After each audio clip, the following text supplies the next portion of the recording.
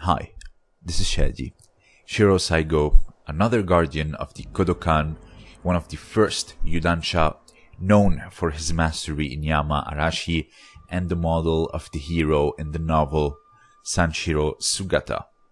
However, much like Yoshitsugu Yamashita, Shiro Saigo was another hot-headed troublemaker.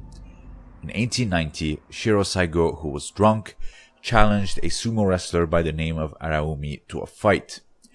Saigo threw him down, and while he was down, Araumi bit Saigo's leg, which ultimately resulted in a huge brawl between Saigo's corner and Araumi's corner.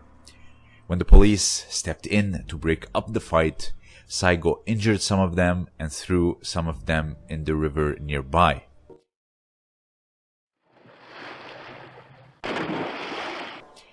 Much like Yamashita, Saigo was also arrested, but thanks to Kano Shihan, he was later released.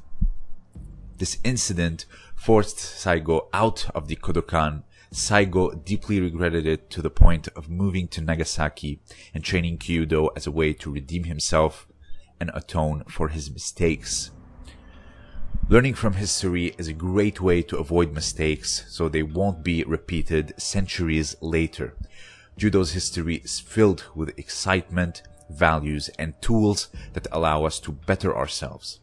Physical education can be easily found on the mats, but the moral and intellectual education are the hardest to acquire. We should always strive to seek them out. This was Chadi, and thank you for listening.